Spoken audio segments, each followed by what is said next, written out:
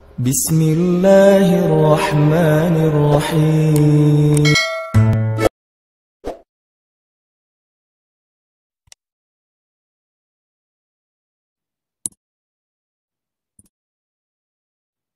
بسم الله الرحمن الرحيم.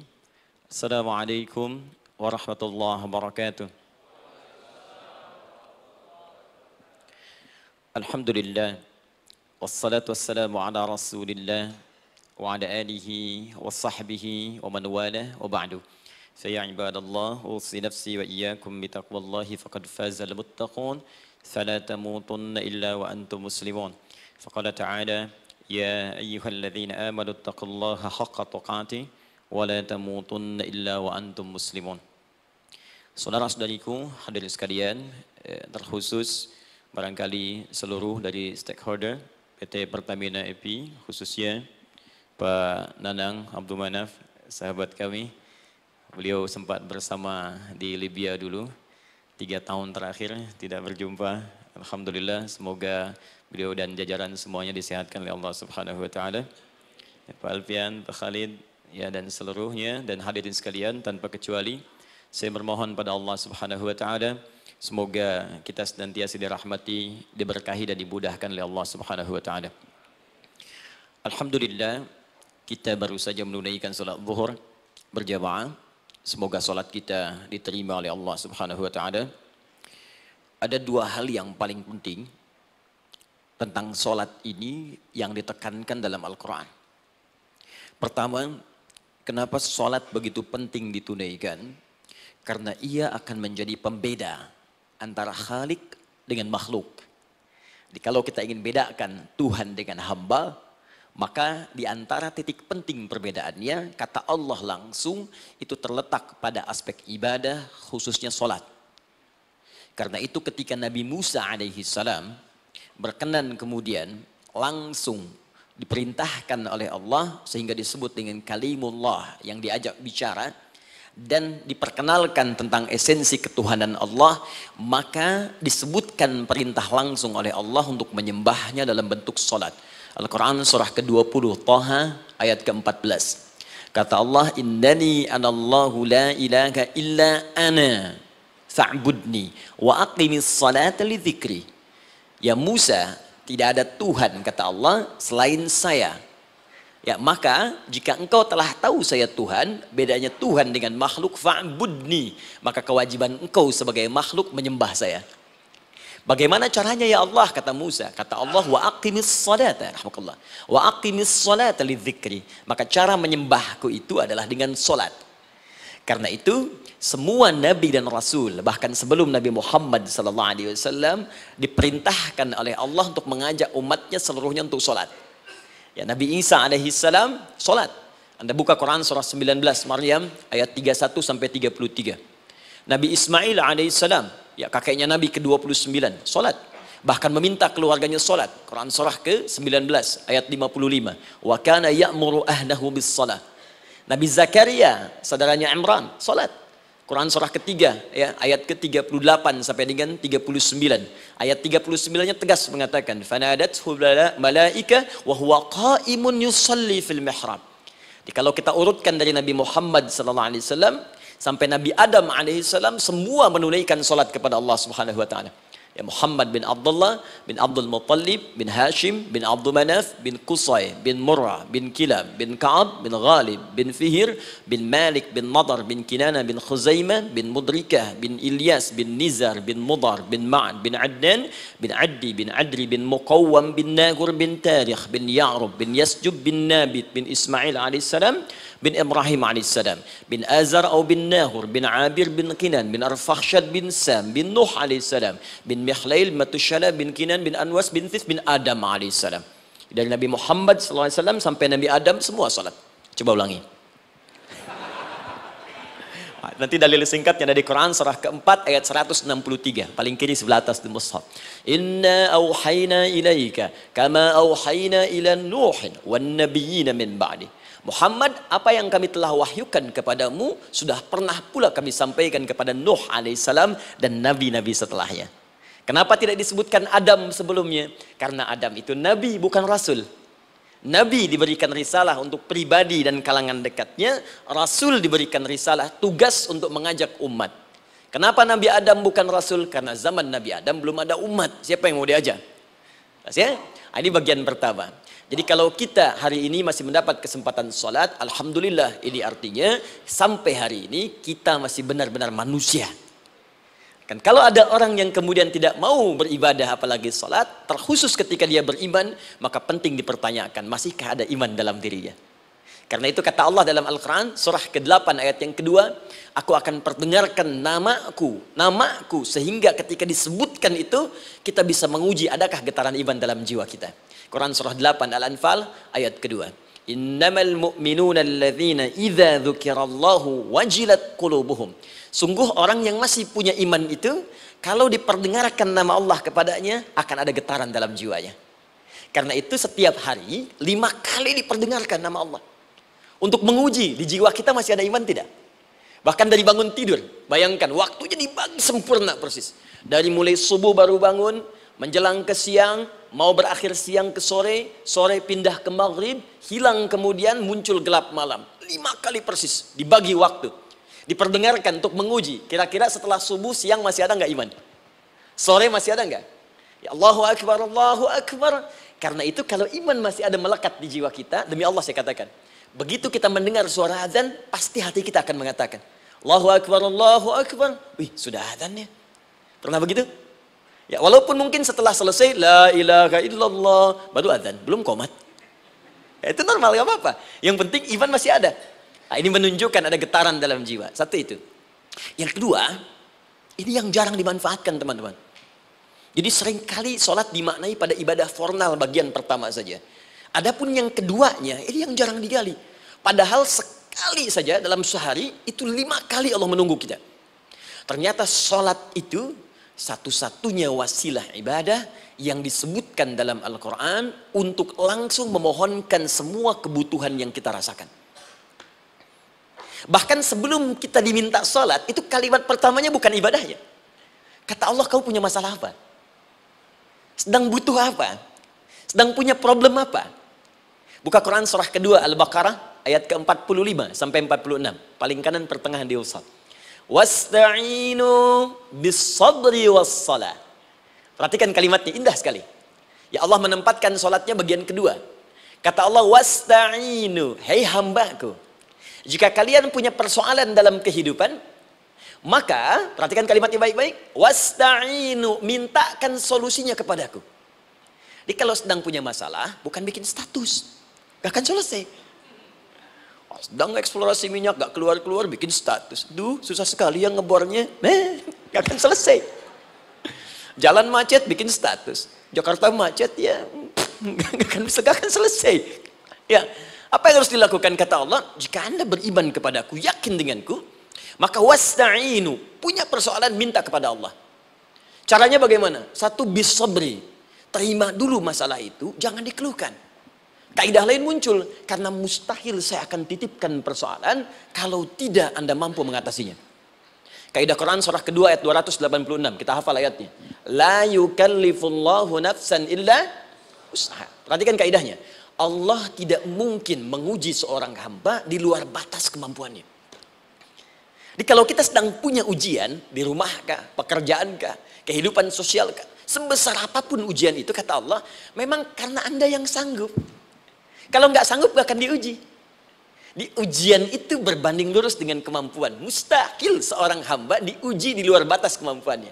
Jadi kalau anda sekarang pun sedang punya masalah sebesar apa pun, kata Allah, memang cuma kamu yang sanggup, yang lain tidak. Maka jangan mengeluh. Jangan anda katakan, ya Allah, why me? Kenapa saya? Kata Allah, why not? Memang kamu yang mampu. Yang lain tidak. Nah ketika anda bisa menerima itu dengan sabar, baru datang kalimat kedua. Wassalah kemudian datang tunaikan sholat dan mintakan solusi kepadaku lewat sholat. Ya sedikit ya, lihat sini. Saya berikan sedikit uraian Al-Quran. Saya boleh menulis ini? Boleh ya? Eh, Ibu, maaf agak jauh. Ibu kelihatan ini? Oh, belum, belum saya tulis. Bagaimana bisa kelihatan? Luar biasa. Cuma di Pertamina belum ditulis sudah kelihatan. Maaf, Lihat sini. Wasta'inu. Baik, ya. Saya ingin sedikit sekali. Ini, ini redaksi Quran itu indah sekali diksinya. Wasta'inu. Lihat sini. Kata Allah, jika Anda punya persoalan dalam hidup, maka mintakan solusi. Terima dulu masalahnya dengan sabar, karena kita dipercaya oleh Allah. Gini, cara memahaminya. Allah aja percaya dengan kita. Masa kita nggak percaya diri? Allah yakin dengan kita, kita mampu. Masa kita nggak yakin? Terima dengan sabar, kemudian wassalah, mintakan solusinya lewat salat. Kata perintahnya dibuka dengan kalimat wasta'inu. Kalau kita ingin rubah kata perintah ini, fi'il amr ingin dirubah ke dalam bentuk permohonan, minta. Maka rubah kalimatnya menjadi nasta'in. Lihat, nasta'in. Baik. Wasta'inu, kata Allah, eh kalian punya persoalan, ayo minta solusi padaku. Terus kita pengen minta, ya Allah kami ingin minta. Maka dalam bahasa Arab, kalau kita ingin merubah kalimat ini ke dalam bentuk permintaan, kita katakan nasta'in. Saya tanya pada anda, pernah nggak dalam solat kita mengucapkan kalimat nasta'in? Ada? Masih ingat? Baik, apa kalimatnya? Iyyaka na'budu wa iyyaka nasta'in. Perhatikan, iyyaka na'budu wa iyyaka nasta'in. Iyyaka na'budu, iyyaka ya Allah, engkau perintahkan aku untuk ibadah. Maka sekarang aku ibadah, sholat. Hanya kepadamu saja. Kan kata Allah, kamu sholat. Terus kita katakan, iya karena abudu. Sekarang kami sholat ya Allah. Nama lain sholat itu ibadah. Kalau kita ibadah, na'budu. Dari mana tahunya nama lain sholat ibadah? Quran surah ke-20 ayat ke-14. Fa'budni wa aqimis sholat li Ibadah kepadaku caranya sholat. Maka saat sholat kita katakan, iya karena abudu. Ya Allah, engkau perintahkan aku untuk ibadah, sekarang aku ibadah. Wa iya karena. Dan sekarang aku sedang punya persoalan ya Allah. Aku punya masalah. Aku punya problem. Dan aku yakin hanya engkau yang pasti akan menyelesaikannya. Ketika anda mengatakan iya karena perhatikan hadis kunsinya. Hadisnya kunsi. Ya, Al-Imam Al-Bukhari meriwayatkan, Imam Muslim meriwayatkan, An-Nasai meriwayatkan dari sahabat Abu Hurairah radhiyallahu taala anhu. Ada lagi yang dari sahabatnya Anas bin Malik. Perhatikan kalimatnya. Idza qala al-'abdu Iyyaka na'budu wa iyyaka nasta'in. Jika hambaku dalam salatnya benar membacanya benar dari awal salatnya sampai dengan kalimat iyyaka na'budu wa iyyaka nasta'in ya Allah sekarang aku ibadah kepadamu dan sekarang aku punya persoalan. Aku mohonkan solusinya darimu. Kata Allah hadza baini wa baina 'abdi. Ini perjanjian antara aku dengan hambaku. Wali 'abdi. Hadisnya kunci wali abdi kalau hambaku benar salatnya sampai kalimat ini masalah apa pun yang dia minta sekarang aku akan kabulkan aku akan kabulkan Pertanyaan saya, berapa di antara kita yang sholat sampai detik ini, ribuan kali ruku dan sujud yang memanfaatkan momentum ini untuk memohon? Siapa di antara kita yang ketika sholat memohon kepada Allah solusi? Jangan-jangan selama ini sholat itu hanya menjadi formalitas saja. Takbir, ruku, sujud, salam selesai. Takbir, ruku, sujud, salam selesai. Padahal Allah sudah menunggu hambaku, kamu itu punya masalah apa? Makanya setiap waktu dibagi lima supaya hidup kita ringan. Subuh ke zuhur punya masalah, zuhur salat. Begitu kita mohon tuntas masalah itu. Zuhur ke asar punya persoalan, asar salat. Dijawab oleh Allah tuntas persoalan itu. Karena itu semua nabi dan rasul bahkan orang soleh ketika punya persoalan dalam hidupnya, even itu hanya menulis karya ilmiah, maka mereka akan memulai dengan sholat dan minta kepada Allah Subhanahu Wa Taala. Teman-teman kenal Nabi Zakaria? Ah, bagus. Baik, di sana belum tulis sudah kelihatan. Sini kenal Nabi Zakaria, alhamdulillah. Tapi nggak apa-apa. Saya kesuka bumi pak. Ada yang kenal Fir'aun. Kenal Fir'aun, kenal, bagus. Baik, suka bumi hubun dunia, suka itu hubun bumi itu dunia. Baik. Teman-teman, Nabi Zakaria itu diuji oleh Allah. Maaf, belum punya keturunan. Dan semua nabi punya ujian. Jadi jangankan kita, nabi aja yang jelas surganya punya ujian. Ya, anda pernah sakit, Nabi Ayub sakitnya lebih parah dari kita. Ya, Anda di keluarga belum ada keturunan, Nabi Zakaria pernah lebih daripada kita sampai rambutnya memutih, fisiknya sudah letih, dan menurut medis, maaf sekali, istrinya difonis tidak mungkin punya keturunan, monofus dan mandul, mustahil. Secara klinis gak mungkin. Secara medis tidak mungkin. Maka Allah tunjukkan satu isyarat yang sangat luar biasa. Jika Anda mendapati situasi makhluk mengatakan ini mustahil dan sudah angkat tangan, ini tanda pertama dari Allah langsung tinggalkan pendapat manusia, langsung memohon kepada Allah. Maka turunlah beritanya di Quran surah ketiga Ali Imran ayat 38 sampai 39. Paling kanan sebelah atas di Musab. Sekarang perhatikan kalimatnya, saya mau sambungkan dengan Al-Fatihah tadi. Hunalika da'a Zakaria rabbah. Di mihrabnya Nabi Zakaria, solat bermohon kepada Allah. Qala rabbi habli min ladunka dzurriyyatan thayyibah. Kemudian ia berdoa, Rabbi habli, ya Allah yang maha memberi tanpa batas. Ini ada pertama kalau teman-teman mau berdoa, sebut nama Allah sesuai dengan hajat kebutuhan kita. Itu yang disebut dengan al-asmaul husna. Di asmaul husna itu bukan nama-nama indah yang sekedar dihafal, bukan. Tapi nama yang diberikan oleh Allah sesuai dengan kebutuhan hidup kita. Dalilnya Quran surah ke-17 ayat 110. Ya paling kanan sebelah atas di musab ke pertengahan. Ya kata Allah kulid Allah. Jika Anda punya persoalan sebut nama Allah. Allah Awir Rahman atau Ar-Rahman. Ayyamma tad'u tapi kalau Anda ingin spesifik meminta falahul asmaul husna. Pilih nama Allah, ia punya nama-nama yang indah sesuai kebutuhan kita. Jadi kalau teman-teman misalnya minta kelancaran rezeki, sebut ya Allah ya Razak. Anak mau ujian, ya Allah, ya Al-Alim. Di proyek misalnya ada hambatan, ada gangguan, ya Allah, ya Al-Jabbar, ya Al-Malik. Ingin mudah mengatasi ujian, ya Allah, ya Sabar. Minta. Ya, jangan semuanya disebutkan, nanti jadi beban. Ya, Allahumma ya Rahman, ya Al-Malik, ya Al-Qudus, ya Sabar, itu kan. Yang tadinya nggak punya masalah, jadi punya masalah, gitu kan. Pilih salah satu. Nah, jika Anda ingin memohon, pada satu hal yang mustahil menurut manusia, maka minta dengan menyebut nama Allah yang memberi tanpa batas mustahil di dalamnya. Nama Allah tersebut namanya Wahab. Wahab. Ya Allah, Ya Wahab. Al-Wahab. Kalau kita rubah dalam bentuk permintaan, maka singkat kalimatnya dengan hab. Hab. Untuk sendiri habli, untuk banyakkan hablana. Rabbana hablana min azwajina wa dhurriyyatina qurrata a'yun. Nabi Zakaria minta karena sendiri yang mengalami situasi itu, maka beliau katakan, Rabbi habli. Ya Allah, habli milladunka. Ya Allah yang tak punya batas dalam pemberian. Mereka mengatakan aku tak akan punya keturunan. Mereka mengatakan mustahil aku punya anak. Dan aku yakin kau memberi batas tanpa memberikan pemberian tanpa batas. Aku mohon darimu saja darimu saja zurriyatan thayyibah keturunan-keturunan terbaik. Innaka sami'ud du'a. Engkau pasti mendengar doa saya. Kalau pada yang maha memohon saja maha mendengar saja tidak mengabulkan lantas kepada siapa lagi aku mesti minta? Tapi poinnya bukan itu. Poinnya adalah ini disampaikan oleh Nabi Zakaria dalam keadaan sedang sholat. Masih berdiri dalam sholatnya dalam bahasa Arab berdiri disebut dengan qaimun qaim berdiri sedang sholat disebut dengan yusolli Perhatikan ayat 39-nya. Fanadatul malaikatu wa huwa qaimun yusalli fil mihrab. Maka seketika ketika doanya selesai dipanjatkan, sholatnya belum selesai. Doanya selesai dipanjatkan, seketika datang malaikat menyampaikan, kamu dapat kabar gembira, Anda akan punya anak, bahkan namanya langsung diberikan oleh Allah, Yahya. Artinya hidup. Yang mustahil menurut manusia lahir dari rahim seorang perempuan yang difonis monopos dan mandul kata Allah bagiku yang gak ada yang mustahil. Jadi dan hidup dia. Kapan itu terjadi? Masih sholat dan belum selesai dalam sholatnya dalam keadaan berdiri.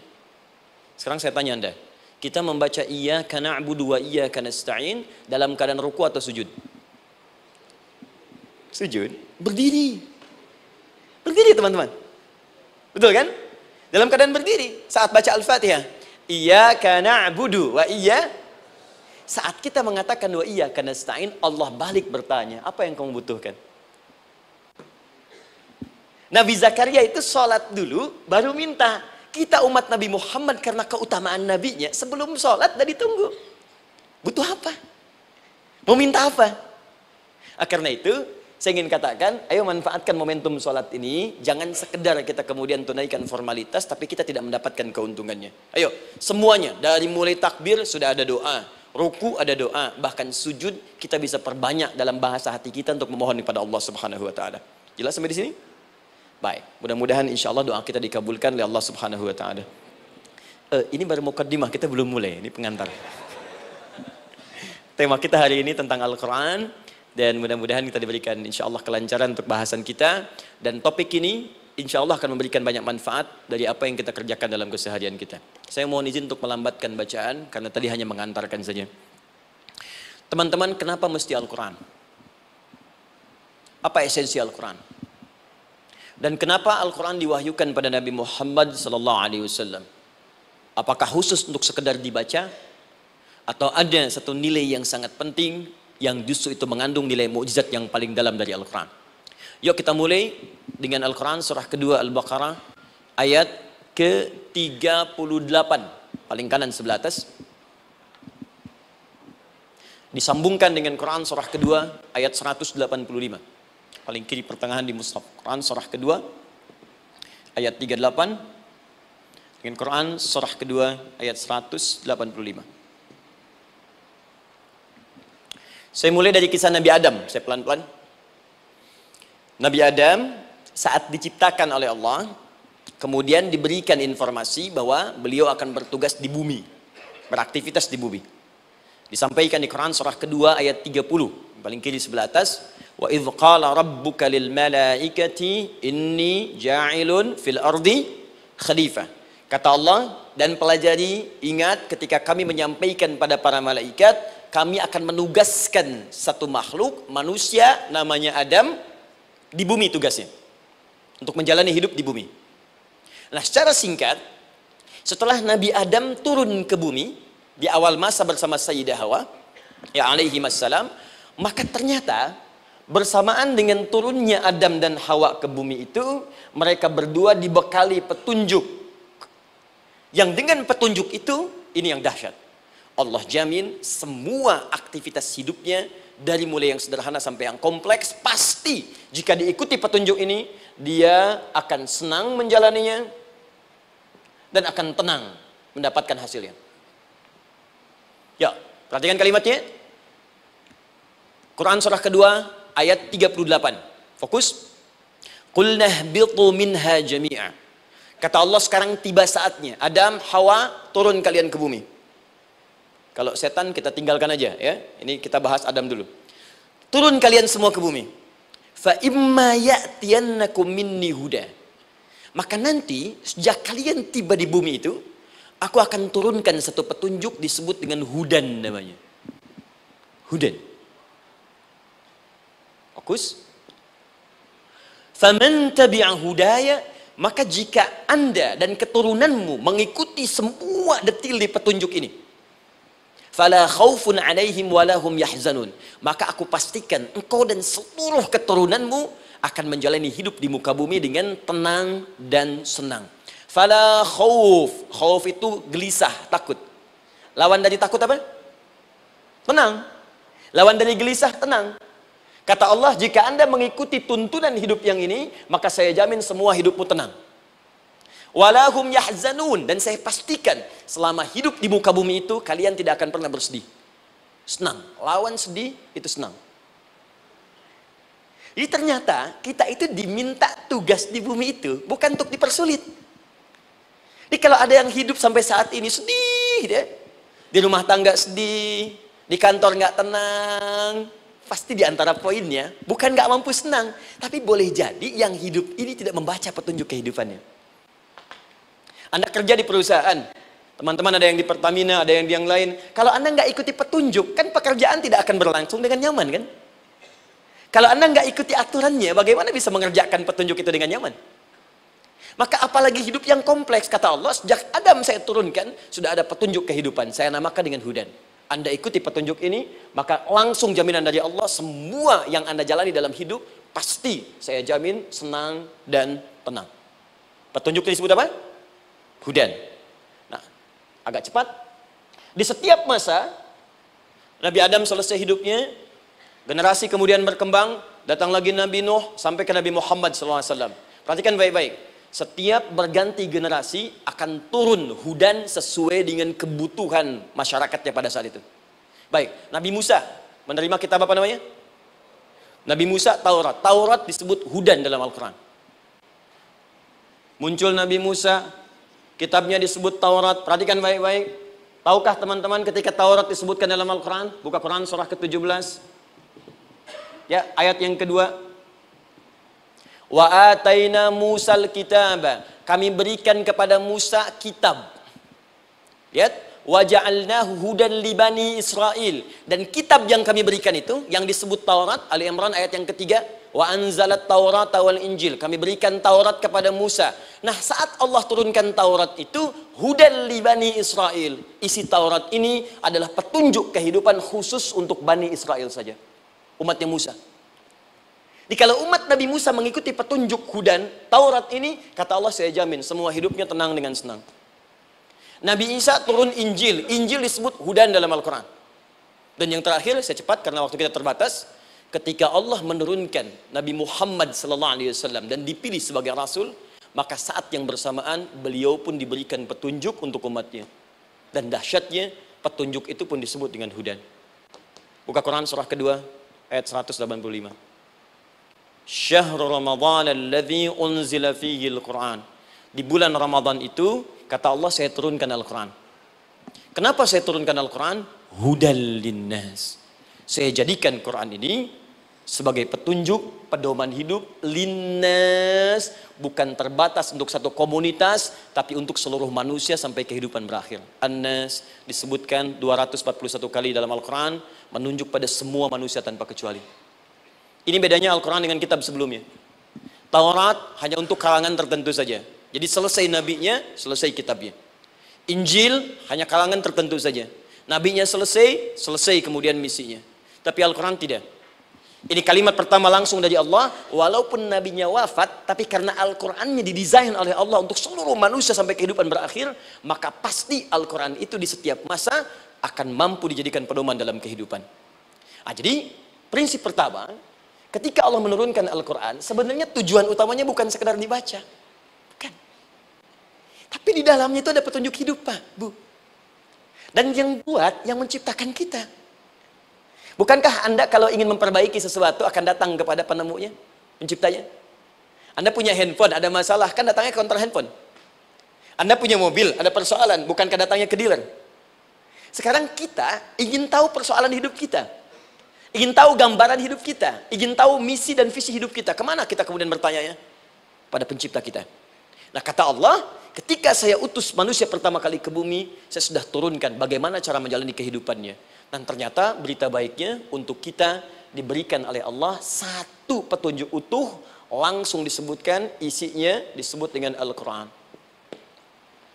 Jadi dari Al-Fatihah sampai dengan An-Nas dia bukan bacaan biasa. Semua di dalamnya ada petunjuk kehidupan kita dari mulai bahkan dalam kandungan sampai kita wafat kepada Allah Subhanahu wa taala. Kalau diikuti petunjuk ini, langsung turun jaminan dari Allah. Hidup kita pasti akan tenang dan nyaman. Saya bacakan cepat ya. Tapi nggak usah ditulis, nanti kalau teman-teman agak terlambat mengikutinya, Anda buka kembali rekamannya, Anda boleh runtutkan kembali.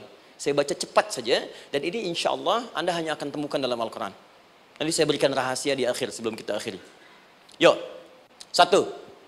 Anda silahkan bandingkan dengan buku mana pun, referensi mana pun, Anda hanya akan temukan dalam Al-Quran dari sejak sebelum lahir. Bagi perempuan yang tengah mengandung, langsung Allah berikan tuntunan bagaimana agar kandungan itu berjalan dengan sehat, nyaman, dan mudah ke persalinan. Quran surah ke-7 ayat 189. Perkembangannya bisa diamati dan dicek kemudian, ya baik ke dokter atau yang lain, nanti perkembangannya disebutkan di Quran surah ke-22 ayat ke-5. Dirinci lagi di Quran surah ke-23 ayat 11 dari 9 sampai dengan 13. Kemudian mulai terlahir. Dari lahiran diberi petunjuk oleh Allah. Nih, berikan ASI. Maksimal 2 tahun. Kalau ingin berhenti sebelum 2 tahun, boleh. Begini caranya. Quran surah kedua ayat 233. Dari sampai usia 2 tahun, menjelang balik. Kata Allah, berikan 4 pendidikan dini. Ini turunannya. Disebutkan 1, 2, 3, 4. Jika Anda ajarkan ini, maka anak ini akan tumbuh. Satu, dekat dengan Allah. Dua, dijamin taat pada orang tuanya Tiga, dia akan baik dengan lingkungannya. Dan keempat, dia akan bertahan dalam kebaikan sampai dia dewasa. Quran surah ke-31 ayat 13 sampai dengan 19. Usia tujuh tahun. Ya, mulai dia balik misalnya, dia akan mulai belajar. Bagaimana cara belajar yang baik supaya cepat paham, gampang mengerti. Turun Quran surah ke-9 ayat 122. Amalannya di Quran surah 96 ayat yang pertama. Kemudian rinciannya diturunkan di Quran surah kedua ayat 282 di ujung ayatnya. Lalu bagaimana mencari sekolah yang bagus? Majlis yang baik, guru-guru yang baik diturunkan Quran surah ke-58 ayat ke-11. Dicontohkan tentang Maryam dan Nabi Isa alaihissalam di Quran surah ketiga ayat 35 sampai dengan 37. Naik lagi dia mulai dewasa, ya, mulai bergaul, bahkan kadang-kadang merantau, punya tempat komunitas berbeda. Bagaimana supaya dia bergaul tidak terpengaruhi lingkungan yang tidak baik. Maaf ya, kadang-kadang ibu yang sudah mengandung, melahirkan, ayah mencari nafkah, tiba-tiba anak pergi bahkan ke kampus, ke sekolah, dapat teman yang gak bagus, pulang-pulang mengecewakan Anda. Bagaimana menemukan tempat-tempat yang baik untuk bisa menjaga perilaku anak ini? Ditemukan nanti di Quran surah ke-49 ayat ke-13-nya. Dirinci perkembangannya di Quran surah ke-12 Yusuf ayat 2 sampai dengan ayat 29-nya. Sampai ketika dia akan mulai kemudian menikah. Kata Allah pilih pasangan yang baik dengan ta'aruf berikan mahar yang sempurna. Quran surah keempat ayat keempat. Kemudian dia mulai menikah. Kata Allah sebelum menikah pelajari dulu fikih nikah. Banyak orang yang menikah tapi karena tidak belajar tentang persoalan rumah tangga. Apa yang akan terjadi di rumah tangganya. Detil pak, bu. Kata Allah ini, kalau kamu berbuat begini akan ada miskomunikasi. Kalau ada miskomunikasi persoalannya akan begini, solusinya begini. Maka diturunkan dasarnya di Quran surah ke-30 ayat 21, detilnya di Quran surah ke-4 ayat 34 sampai dengan 35. Paling kiri sebelah atas sampai dengan ke tengahnya. Anda berlanjut, diterangkan oleh Allah, hei tugas suami saat mulai pertama kali menikah, maka tugas yang pertama siapkan untuk mencari nafkah. Bagaimana caranya ya Allah? Diturunkan oleh Allah. Satu, jangan takut kehilangan rizki. Jangan pernah mencuri, jangan pernah ngambil punya orang, karena punya kamu akan saya berikan sempurna. Kamu ngambil punya orang, maka kamu akan menyulitkan diri sendiri. Itu akan dikembalikan pada yang berberhak. Ya, turun Quran surah ke-51 ayat 22. Dirinci, begini cara nyarinya. Quran surah kedua ayat 168. Kalau Anda ingin cepat baru bergerak, rizkinya sudah dapat. Quran surah kedua ayat 172. Ada yang dahsyat, dia belum keluar, rizkinya yang mendatangi dia. Jadi nanti di Al-Quran ada delapan jenis rizki. Di antara yang paling hebat, ada yang belum Anda datang, rizkinya sudah menjemput. Di, ada orang mendatangi rizki, ada rizki mendatangi dia. Contoh, Al-Imam Ash-Syafi'i sedang berdiskusi dengan Imam Malik gurunya. Kata Imam Ash-Syafi'i, Syekh, rizki itu mesti saya cari dulu, baru kita dapat. Kata gurunya, ya Syafi'i, ada rizki yang cukup kita beramal dekat kepada Allah, dia akan datang tanpa kita cari dengan ikhtiar manusia. Kata Syafi'i mustahil. Kata Quran kan kita kerja dulu baru datang. Kata Imam Malik gurunya, kamu yang belum sampai. Kita amalkan ini, rizki datang. Maka berhenti sampai di situ, Imam Syafi'i pamit. Di jalan tiba-tiba, beliau mendapati ada panen anggur, Pak. Bu. Terus dipanggil sama yang punya kebun. Ya pemuda katanya, sini. Mau bantu nggak? Kalau kamu bantu, kami berikan anggurnya. Maka beliau bantu, panen, petik, petik, petik, petik, petik. Sampai setelah selesai diberikan anggur yang besar-besar hanum. Senyum, senang beliau. Ternyata senangnya bukan karena dapat anggur. Senangnya karena merasa pendapatnya benar. Kalau saya nggak bantu panen ini, nggak akan dapat saya anggur. Cuma karena saya bantu, saya diberi ini. Maka rasa senangnya inilah dibawa kemudian kepada gurunya ingin laporan. Tapi perhatikan adabnya. Dia tidak mengatakan, guru, nih saya benar. Kalau saya nggak ikut panen, nggak dapat saya ini. Perhatikan kalimat Asyafi. Guru, tadi saya di jalan, dipanggil oleh pemilik kebun, ikut panen anggur. Begitu saya bantu, saya diberikan anggur ini. Beliau tekankan dengan kalimat yang kencang pada kalimat, begitu saya bantu, saya dapat anggur ini. Imam Malik tersenyum mengatakan, Masya Allah Safi luar biasa. Ini siang begitu panasnya. Tadi saya mau keluar ngajar, terfikir di benak saya, Allah kalau ada anggur yang besar-besar, enak rasanya. Tiba-tiba kamu datang bawa anggur. Di Imam Syafi'i kerja dapat sesuatu, Imam Malik terfikir sesuatu datang rezeki. Itu ada di Quran surah ke-7, teman-teman, ayat ke-96, paling kanan sebelah atas di mushafnya. Baik, teruskan dulu. Ya, Anda dalam mencari kerja ingat kalau Allah yang sampaikan pasti terjadi. Jangan dikira mudah. Kata Allah akan ada persaingan, akan ada kadang-kadang singgungan, akan ada tantangan, maka mulai petakan tantangan apa yang akan Anda lalui saat Anda mulai mencari nafkah itu. Maka turun Quran surah kedua ayat 214, paling kanan sebelah bawah. Am hasibtum an tadkhulul jannata. Hei, apa kamu mudah begitu saja mengira akan sukses dalam pekerjaanmu? Bahkan bisa diartikan surga, ingin masuk surga. Walamma ya'tikum mathalul ladzina khalau min qablikum. Sebelum engkau diuji seperti orang sukses dulu pernah sukses. Lihat mereka. Gak ada orang sukses yang instan. Cuman balikan telapak tangan dapat tidak. Kata Allah, lihat orang-orang dulu. Lihat orang-orang hebat dulu. Bagaimana mereka bisa kaya, bisa sukses, bisa punya posisi. Masat umul ba'sa, petakan olehmu tantangan apa yang akan dihadapi saat engkau bekerja itu. Satu, kata Allah ba'sun, ada yang ringan. Ya, ba's. Ba'sa jama' dari kata ba'sun. Dua, dara. Dia sudah menengah, jama' dari kata durun. Tiga, zilzal. Ini yang paling tinggi puncaknya. Jadi kalau Anda sudah mendapatkan ini, yakinlah. Berarti Anda akan mendapatkan posisi yang tinggi. Karena mustahil orang besar diuji dengan ujian yang kecil. Zilzal, ini bagian ketiga. Baksa, baksun, mulai. Kira-kira tantangan-tantangan ringan apa saja yang akan Anda hadapi? Ya, kalau saya contohkan misalnya dengan contoh yang lain singkat, Anda mau ke masjid, ingin konsisten, mulai hijrah, ingin dekat dengan Allah, tiba-tiba yang tadinya nggak mau ke masjid, mulai ke masjid, diuji dengan hujan. Yang kecil, rintik-rintik, shower. Begitu hujan, orang Arab mengatakan kalau hujannya bisa lewat tanpa payung pun, orang Arab mengatakan la ba'sa. La, ba, la ini ringan. Orang kita sambungin, labas. Dari bahasa Arab, lewat. Nah, jadi kalau Anda mau berangkat nih, siap. Siap bekerja, siap hadapi tantangan. Baru mau lewat hujan kecil, berarti itu tantangan kecil kita lewati. Macet, petakan. Cari jalan yang kemudian sempurna. Jalan yang kosong. Buka Google-nya. Buka Waze-nya. Buka map-nya. Cari. Jadi kalau pada yang kecil aja belum kita lewati, bagaimana mendapatkan yang besar? Anda mau ke masjid, dikasih hujan kecil. Mau berangkat gak jadi. Papa, kenapa gak jadi? Hujan mah, kan ada payung. Takut ria. Takut ria. Setelah itu darwa. Darwa. Maaf, tantangan fisik. Kadang-kadang mulai ke fisik mulai mengganggu. Ya, maaf, dirincikan kemudian oleh Al-Quran. Turun Quran surah ke-21. Ayat 87 sampai 88, kisah Nabi Yunus alaihissalam. Yunus beraktivitas, bekerja, bukan berarti nggak ada tantangan. Kadang-kadang dibawa, kadang-kadang diusir, kadang-kadang Anda dapat misalnya proyek, kadang-kadang sudah mulai, masukkan tender, tiba-tiba gagal, diserobot orang, kadang-kadang orang yang dapat, Anda yang ngajukan, itu biasa. Kata Allah itu biasa, bukan cuma Anda, yang lain pun ada. Bukankah Allah ajarkan kisah Sayyidah Hajar alaihissalam dengan Ismail? Bukankah bolak-balik naik sofa marwah? Kadang di atas, kadang di bawah, kadang lihat peluang sampai marwah ternyata bukan air. Terkadang Anda yang bekerja, tim yang lain yang mendapatkan karena kerja keras Anda bisa jadi terjadi. Bukankah yang kerja keras Hajar yang dapat Ismail? Mungkin Anda yang konsep, yang dapat minyaknya orang lain.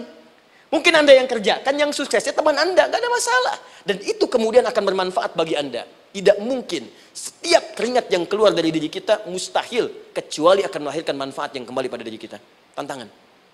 Tapi yang paling dahsyat ini yang nggak ditemukan di sebagian referensi yang kita baca. Ketika Allah menjelaskan semua tahapan-tahapan tantangan ini sampai ke puncaknya zilzal. Zilzal itu kalau bahasa sekarang gempa. Ada ujian yang menggoncang hati kita. Ketika anda kerjakan, ya Allah, tantangannya dahsyat. Kenapa mesti saya, ya Allah? Kau nggak selesai-selesai, ya Allah. Itu wajar, teman-teman. Itu biasa.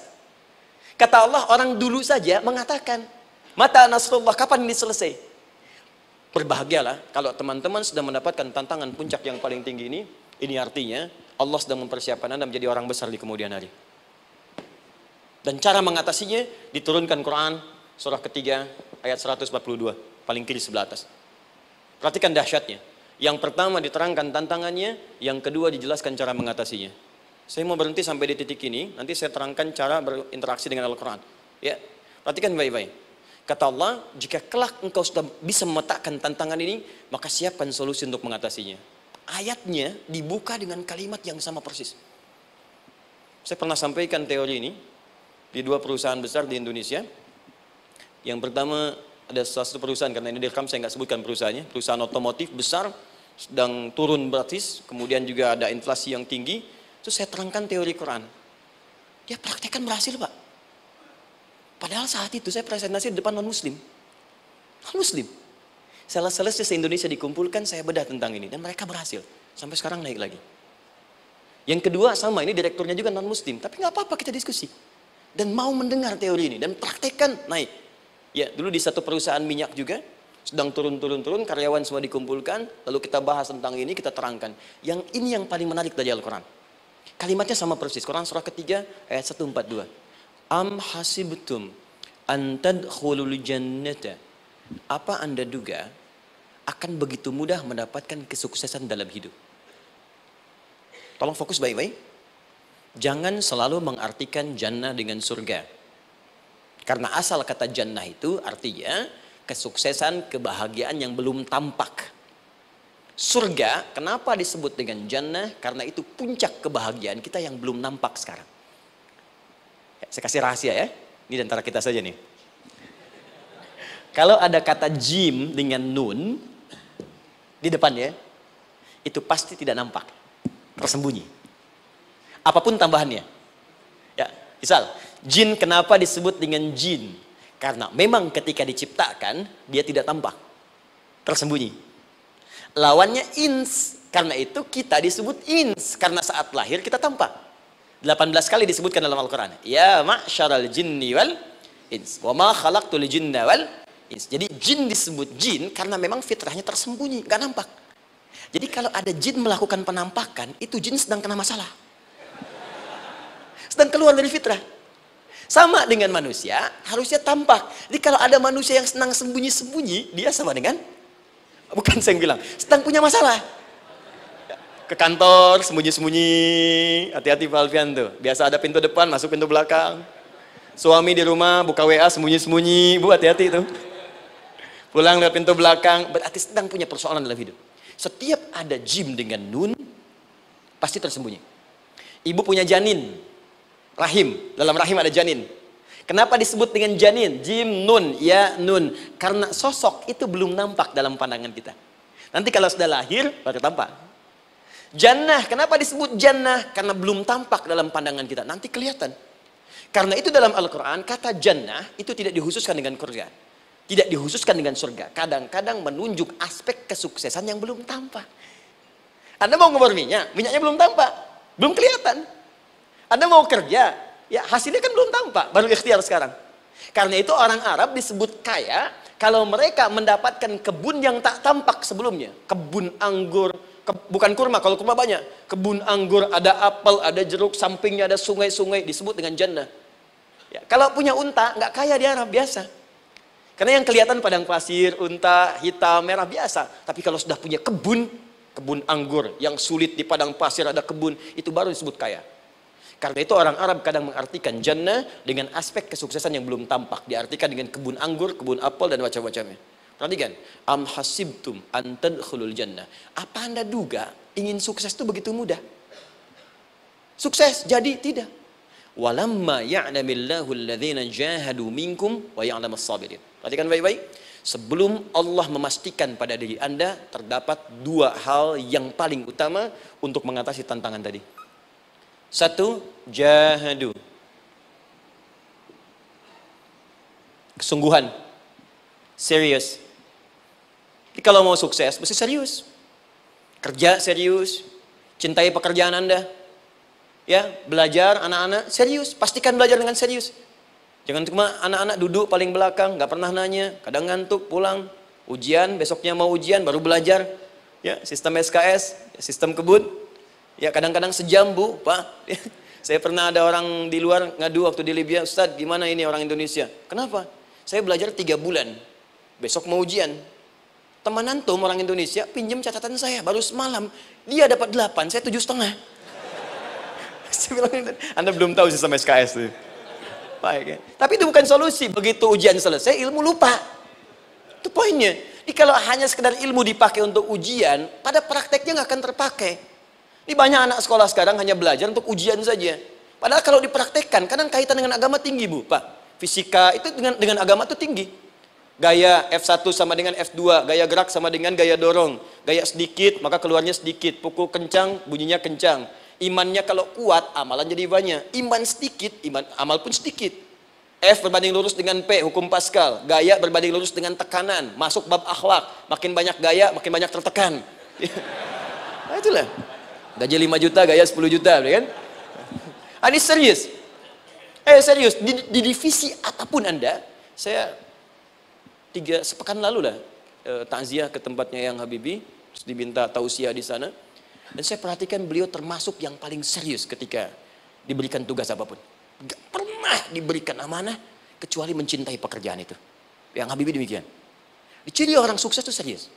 Tapi keseriusan itu, kata Allah petakan jadi tiga bagian lagi. Karena jahadu itu punya tiga turunan kata. Satu, keseriusan merencanakan, disebut ijtihad namanya. Punya rencana. Mappingnya apa? Stepnya apa? Oke, Anda ingin kerjakan sebuah proyek, baik, proyeknya berlangsung berapa lama? Target kita apa? Jangka panjangnya, menengahnya, jangka pendeknya. Kemudian apa tantangan yang akan dihadapi di setiap tahapan-tahapannya? Selesaikan. Bahkan saking pentingnya tahap perencanaan ini, ditunjukkan oleh Allah langsung lewat sholat. Teman-teman masih ingat sholat pertama yang kita kerjakan setiap hari sholat apa namanya? Subuh. Apa artinya subuh?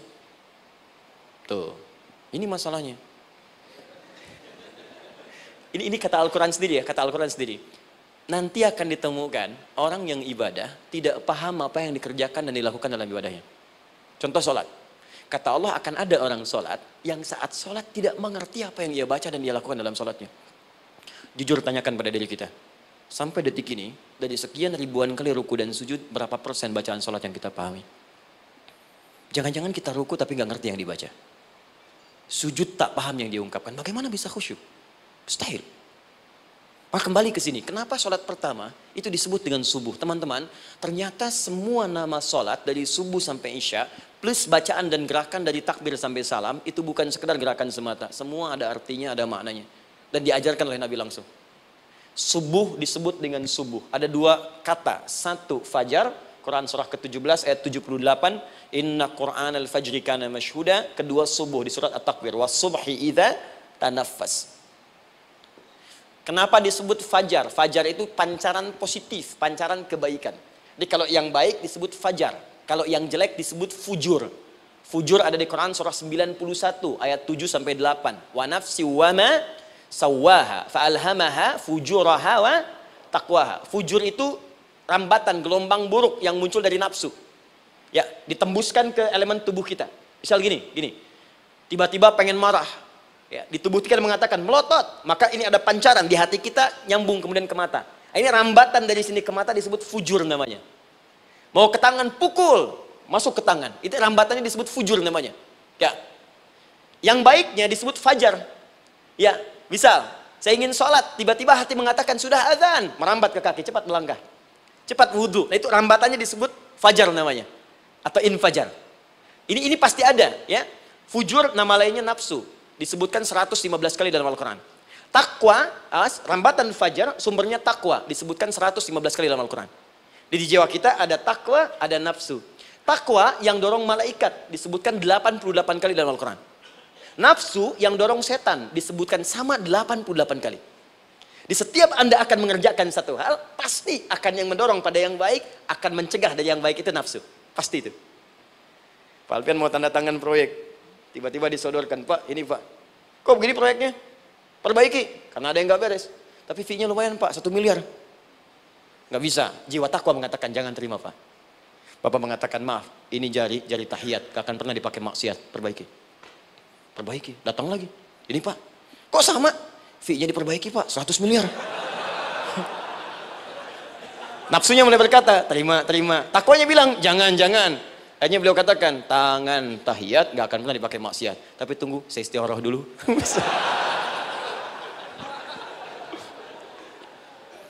nah, waktunya, ini salatnya disebut fajar. Kenapa disebut fajar? Karena saat kita tidur, terus dengar suara azan, Allahu Akbar, Allahu Akbar, maka memancar dari iman kita, rambatan untuk merespon suara itu. Bangun kita untuk menunaikan sholat. Waktunya disebut subuh. Kenapa disebut subuh? Dari kata asbah Asbah itu artinya yang siap dengan rencana. Ya orang Islam tuh nggak ada yang bangun dari tidurnya kecuali punya rencana jelas yang akan dieksekusi dari itu. Makanya sebelum kita bekerja mengeksekusi itu, kita datang menghadap Allah supaya Allah berikan kemudahan di setiap aktivitas kita. Coba lihat manajemen Nabi. Bukankah sebelum tidur beliau istighfar dulu? Dirinci pekerjaannya, Dicatat yang akan dikerjakan besok, istighfar 70 kali, 100 kali. Sehingga dengan istighfar saat tidurnya tenang. Coba kita biasakan. Ada yang baca Quran, ada yang istighfar. Kalau nggak percaya silahkan cek. Begitu Anda lakukan, tidurnya enak. Besoknya rencana itu sudah siap. Makanya ketika bangun, siap jam 7 mau ke mana, jam 8 ada di mana, jam 12 kerjakan apa. Sebelum mengerjakan itu, datang kepada Allah, sujud, ya Allah, saya punya rencana ini tolong mudahkan. Begitu caranya. Itu yang disebut dengan subuh. Nah, sekarang kembalikan peta hidup kita mau seperti apa ke depan? Ijtihad. Yang kedua, kalau sudah jelas konsepnya, visinya sudah ada, maka jihad. Yang kedua jihad. Jihad itu eksekusinya, aksinya, actionnya, perjuangan fisiknya. Rencananya apa? Tahajud malam nanti. Bismillah. Jam berapa? Setengah tiga. Baik, yuk kita mulai rencanakan. Eksekusi rencananya. Bagaimana cara kita bangun setengah tiga? Pasang alarm. Jam berapa alarm dipasang? Tiga kali. Pertama setengah dua, kedua dua kurang seperempat, ketiga jam dua lewat seperempat. Baik. Alarm pertama untuk mematikan alarm kedua. Alarm kedua matikan alarm ketiga. Ketiga siap-siap. Baik. Siap bangun. Jihad. Awas, ini, ini penting ya, jihad itu jangan dipersempit maknanya kepada situasi peperangan saja, tidak. Banyak jihad itu luas sekali medannya. Karena jihad itu perjuangan fisik. Dan maaf ya, maaf sekali, dalam konteks perang pun bukan menyerang orang. Tapi membela diri saat diserang. Di Islam itu bukan agama ekspansi. Cek di sejarah, nggak ada Islam menyerang. Yang ada itu membela diri saat diserang. Atau saat orang lain dizalimi dan kita diminta untuk terlibat, kita membantu. Ini bukan dalam konteks sekarang yang banyak dibincangkan. Tembak orang, bom orang, nyerang orang. Bukan. Itu waktu kejadian bom Tamrin itu pertama, saya di Lampung posisinya. Itu begitu meledak, tuar. Pertanyaan pertama Pak di Balista ini, Ustadz, apakah bom di Jalan Tamrin termasuk jihad visabilillah? Saya bilang, Pak, sependek pengetahuan saya, jihad visabilillah itu jihad di jalan Allah, bukan di Jalan Tamrin. Kaidahnya beda. Nah, misal mencari nafkah itu jihad. Cari nafkah jihad. Quran surah keempat ayat 34, paling kiri sebelah atas. Tugas pertama ketika menikah kata Allah, "Ar-rijalu qawwamuna 'alan nisa."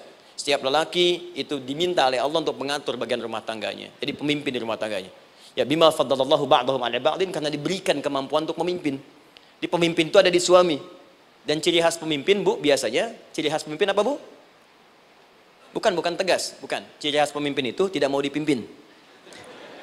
Makanya kalau ada sesuatu, masukkan lewat usulan, jangan beri saran. Kalau saran susah, itu pemimpin. Baik, tapi yang paling bah, paling luar biasa kata Allah, perhatikan kalimatnya indah sekali. Wabima anfaqu min amwalihim. Saya berikan tugas untuk mencari nafkah. Ketika seorang lelaki bertugas mencari nafkah, ingat ya, konteks apa pun, kalau perempuan nanti bekerja bukan nafkah poinnya. Bisa hobi, ya bisa aktivitas, tapi nafkah kalau sudah menikah itu ada pada suami. Perempuan tidak.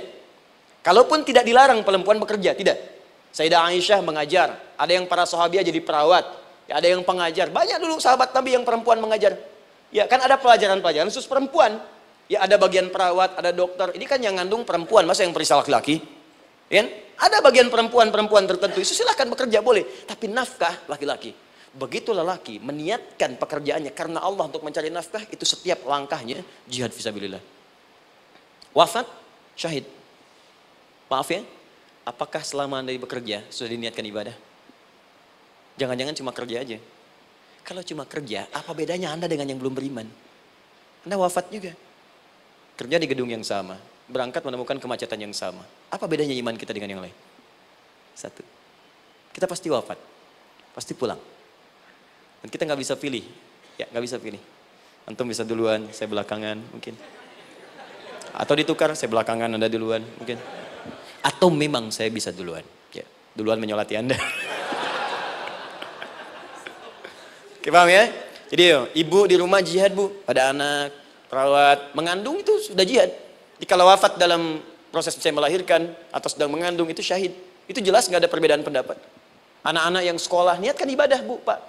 Mohon maaf ya, mesti ada bedanya. Iman kita di rumah, mesti itu terpancar kepada anak-anak. Ajarkan mereka sekolah yang baik. Pilih sekolah yang mengajarkan sholat, mengajarkan baca Quran. Sekarang banyak kok.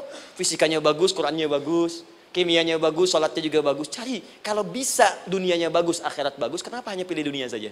Siapkan, itu jihad. Terakhir, tidak mudah mengeksekusi ini, pasti ada tantangan yang ketiga, namanya mujahadah. mujahadah. Tantangan mengatasi gejolak jiwa. Kadang-kadang malas, capek, ya belum eksekusi dilakukan, sudah berdebat pada yang tidak penting, sehingga tidak menghasilkan kesimpulan, ragu-ragu, khawatir, maka atasi semua itu. Turun Quran surah kedua ayat 216. Kutiba alaikumul qitalu wa huwa kurhul lakum. Kalau engkau sedang tidak nyaman, maka perangi ketidaknyamanan itu jika engkau ingin mendapatkan kesuksesan yang telah engkau cita-citakan. Asa antakrahu syai'an fahuwa khairul lakum. Boleh jadi apa yang engkau tidak rasakan sekarang, engkau rasakan gak enak, gak nyaman, di balik itu Allah sedang siapkan sesuatu yang lebih baik untukmu. Wa asa an tuhibbu syai'an fahuwa syarrul lakum. Mungkin yang engkau harap-harap sekarang boleh jadi itu belum baik untukmu sekarang. Allahu ya'lamu wa antum la ta'lamun karena Allah lebih tahu masa depan, engkau pikiranmu pendek sampai di sini saja. Maka teman-teman sekalian, kembalikan lagi, tidak pernah Anda akan temukan dalam Al-Quran kecuali bimbingan hidup yang semuanya nyata. Silahkan cek. Itu baru pekerjaan. Belum ibu di rumah, ibu capek merawat anak, kadang mengeluh, kadang nangis, turun Quran surah ke-17 ayat 23. Kadang-kadang ada beda pendapat dengan suami, Quran surah ke-4 ayat 34 sampai 35. Masalah kondangan saja Pak, bisa beda pendapat. Ya, Ya Pak, kan ada family gathering malam, mama pakai baju apa ya? Hijau apa yang biru? Masya Allah, kata anda biru bagus mah. Kata mama kayaknya hijau deh pak. Tuh. Nanya tapi udah punya jawaban. Ya, bagus kalau dipakai. Begitu keluar kuning. Naik lagi, Anda udah 40 tahun, anak masih ada, turun Quran surah ke-46 ayat 15. Kemudian naik lagi sampai Anda sepuh, sampai kembali ke keadaan tidak normal seperti anak-anak lagi, Quran surah ke-22 ayat ke-5. Sampai ada amalan kalau anda jangan kira Anda akan hidup selamanya, Anda pasti wafat. Quran surah ketiga ayat 185. Bahkan diajarkan kalau wafatnya ingin enak, begini caranya. Pelajari Pak, jangan cuma dunia, kita akan meninggal. Ini ada di Quran, kalau pengen meninggalnya enak, begini caranya. Ya kalau nggak percaya silahkan amalkan, nanti kita akan lihat di akhir. Ya, Betul akan kelihatan. Quran surah ke-89 ayat 27 sampai 30. Kalau kalian nggak pelajari ini, silahkan kata Allah, saya berikan yang ini yang kedua sambil dipukulin malaikat. Quran surah ke-8 ayat ke-50. Sampai di alam kubur dijelaskan, kalau nanti Anda wafat, Anda pindah ke alam kubur, kalau ingin di kuburnya terang, nyaman, banyak rezekinya, lakukan amalan Quran surah ketiga ayat 169 sampai 172. Tapi kalau Anda abai, Anda akan seperti Firaun dulu. Setiap pagi sampai petang ditampakkan neraka. Quran, Quran surah ke-40 teman-teman sekalian disampaikan oleh Allah langsung, langsung ya dari ayat 45 sampai 46 ya. Sampai terjadi kiamat disampaikan Quran surah ke-75. Sampai dihisab ada yang masuk surga tanpa hisab Quran surah kedua ayat 25. Ada yang masuk neraka tanpa hisab. Ada. Kan yang kita tahu surga aja, masuk neraka tanpa hisab ada. Quran surah 18 ayat 99 sampai dengan 100. Sampai disebutkan surga yang paling indah nomor satu bersama Nabi dan orang-orang soleh. Jadi kalau anda masuk sini, tetangga anda semua Nabi. Ya depannya Nabi Ibrahim, belakangnya Nabi Musa misalnya, samping kiri Nabi Yusuf, ya, samping kanan Nabi Muhammad SAW. Itu cuma tiga golongan. Orang soleh, para syuhada, orang-orang jujur dalam kehidupan dunianya. Jadi kalau anda jadi pekerja yang jujur, taat kepada Allah, anda berpotensi masuk surga bersama semua Nabi dan Rasul yang pernah diutus. Ya. Baik itu ada di Quran surah keempat ayat ke-69. Ada yang kedua di taman surga, Quran surah ke-51 ayat 15 sampai dengan 18. Ada yang surga seluas langit dan bumi, Quran surah ketiga ayat 133 sampai 134. Ada yang neraka, neraka yang biasa, ya, sebiasa-biasa nerakanya kebakar juga. Quran surah 4 ayat 56. Tingkat paling tinggi neraka jahanam untuk dua golongan, munafik, ingat, munafik dan kafir. Jadi kalau anda pun muslim, jauhi perbuatan munafik. Karena munafik akan mengantarkan langsung ke dalam neraka jahanam. Quran surah keempat ayat 140. Mana yang tidak ada? Mana yang nggak ada di Quran? Semua ada. Bisnis ada, ya birokrasi ada, diplomasi ada, mengajar ada, ilmu ada. Ah, karena itu saya mau tutup, jika kita ingin benar mengeluarkan petunjuk ini, seperti orang dulu pernah melakukannya, maka kata Allah melalui lisan Rasulullah turun Quran surah ke-29 ayat ke-45. Satu ini aja kita kerjakan, insya Allah ini akan akan beda kita rasakan. Utslu ma wahya ilaika minal kitab. Jika kalian kemudian hidup di muka bumi, maka keluarkanlah bimbingan dari Al-Quran sesuai dengan kebutuhan kita secara tematik. Utslu itu dari kata tilawah. Tilawah itu baca, pahami, amalkan. Karena itu setiap kita baca Al-Quran, di sampingnya pasti ada yang menerjemahkan supaya kita paham. Betul kan? Ketika ada yang baca Al-Quran, di sampingnya ada siapa?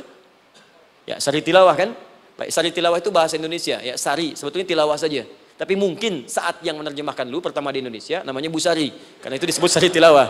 Ya, kalau Adi mungkin ada tilawah gitu kan. Nah, jadi teman-teman caranya begini, Anda keluarkan sesuai kebutuhan. Enggak semua ayat Quran mesti kita kaji. Kalau mau dari awal dari akhir, bagus. Kalau baca silahkan. Hatamkan, hatamkan. Nabi juga hatamkan. Tapi kalau Anda ingin ambil sesuai passion kita. Anda pebisnis, kenapa nggak mengeluarkan ayat bisnis di Quran? Teman-teman yang diperminyakan, keluarkan ayat-ayatnya ada. Quran surah At-Tur, surah 52 itu. Keluarkan. Ya, wal bahrul masjur. Dan jika Anda akan melakukan eksplorasi di laut, carilah laut yang punya. Nih, kualifikasi begini. Yang di bawahnya ada endapan tanah yang melahirkan api, kata Allah tuh. Itu potensial ada minyaknya. Kalau yang kerja di batu bara, turun Quran surah Fatir, surah 35 ayat 27 sampai 29. Ini jenisnya. Ada yang kelihatan dari jauh, ada yang harus digali, ada yang kelihatan dari jauhnya kelihatan hijau, ada kelihatan menghitam. Disebutkan langsung. Ada. Kenapa nggak Anda turunkan dalam bentuk-bentuk tematik yang itu bagian kita? Ada yang pokok, ada yang spesifik. Yang pokok tentang sholat, karena semua orang sholat. Tentang ayah. Anda jadi ayah berapa tahun? Kenapa nggak dikeluarkan di Quran ayat-ayat tentang ayah? Kenapa nggak dikeluarkan di Quran ayat-ayat tentang ibu? Jangan jauh-jauh dulu bicaranya. Tentang belajar. Nah, nanti eksekusinya kalau mau cepat buka kitabnya Al-Imam Al-Bukhari. Ada kitab hadis, saya akhiri, yang dikarang oleh Al-Imam Al-Bukhari dan sangat populer. Apa nama kitabnya? Kalau hafal saya kasih hadiah. Apa kitab Imam Al-Bukhari yang populer? Ya,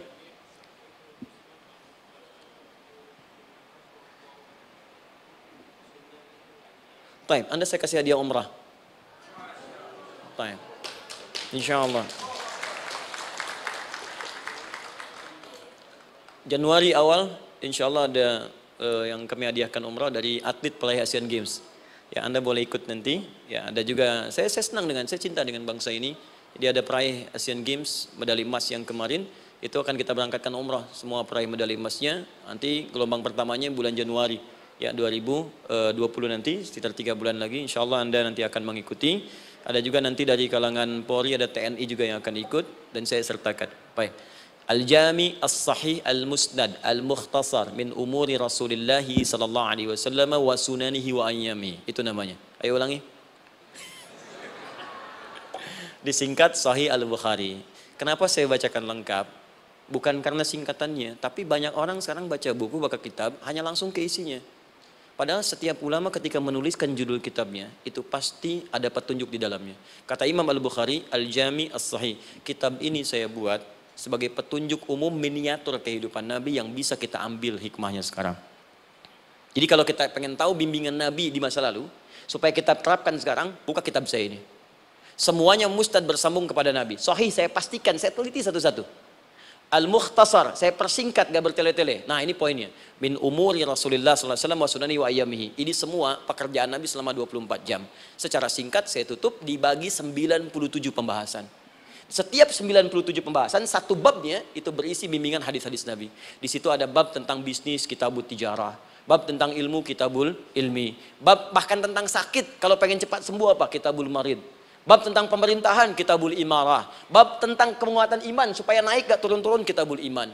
Anda tinggal pilih profesi apa, cari Sahih Al-Bukhari, harganya murah.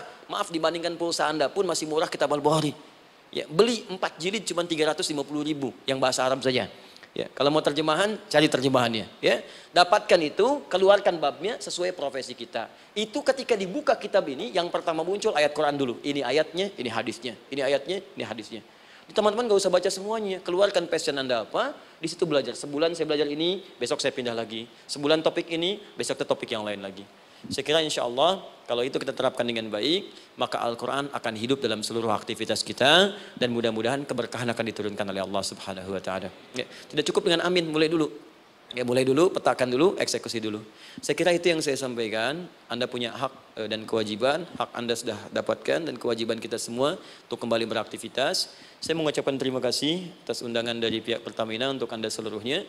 Eh, saya ingin tanya kalau jamaah di sini ada berapa kurang lebih? Kurang lebih yang rutin 500, 500 ada 550. Baik, nanti saya hadiahkan mushaf sebanyak 550 Ya, dan itu nanti setiap ada kajian atau zuhur salat Anda bisa baca di sini, baca mushafnya. Kemudian yang kedua, saya nanti berikan buku untuk bacaan. Ya, itu buku yang saya berikan insya Allah tentang manusia. Jangan-jangan selama ini kita jadi manusia, kita tidak tahu mau ke mana kita. Ya. Itu saya keluarkan dari Al-Quran langsung, seperti apa Allah menerangkan tentang kemanusiaan kita. Saya juga hadiahkan sejumlah yang sama, 550. Nanti satu orang bisa mendapatkan satu-satu. Dan eh, terakhir barangkali, mau hafal Quran? Oh mau baik, Alhamdulillah. Alhamdulillah. Saya berikan uh, mushafnya yang spesial. Nanti kita mulai dengan 10 juz dulu ya. Nanti saya berikan At-Taisir yang 10 juz itu ada e, mudah untuk bisa menghafal Quran mulai dari 10 juz dulu nanti bisa disempurnakan.